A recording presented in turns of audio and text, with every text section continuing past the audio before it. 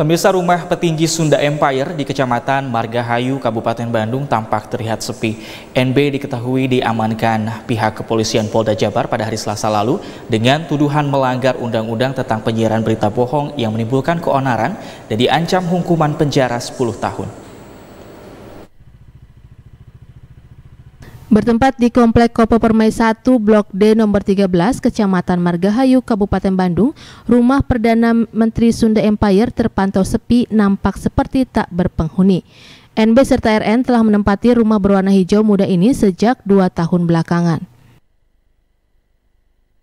Keseharian kedua pasang petinggi Sunda Empire ini di kalangan tetangga sangat tertutup dan kurang bersosialisasi. NB juga biasa keluar rumah untuk berkeliling pemukiman pada pukul 10 pagi. Dari keterangan warga tidak ada aktivitas mencurigakan setiap harinya di rumah tersebut. Hanya tamu yang datang dengan menggunakan roda empat yang berisikan enam orang yang biasa mengunjungi NB beserta istri. Warga setempat yang sering melihat NB mengaku terkejut tetangga yang biasa berkeliling di pagi hari merupakan salah satu petinggi Sunda Empire. Warga juga menyampaikan di rumah tersebut NB tinggal bersama istri dan anaknya.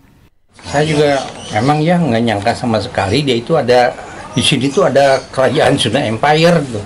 Dia sebagai perdana menteri, mengukuhkan sebagai perdana menteri, terus istrinya sebagai ratu apa tuh Raden Ratu anjing apa gitu lah nggak tahu lah loh akhirnya lagi rame-ramenya santer-santernya oh di sini ada ini tetangga-tetangga yang sebelah ini juga nggak tahu bahwa di sini ada rame ada semangat ada Sunda Empire gitu NB beserta istrinya RN diamankan petugas kepolisian pada hari Selasa lalu. Petinggi Sunda Empire ini dijadikan tersangka dalam kasus penyiaran berita kebohongan yang menimbulkan keonaran dan terancam hukuman 10 tahun kurungan penjara. Rezitia Prasaja, Bandung TV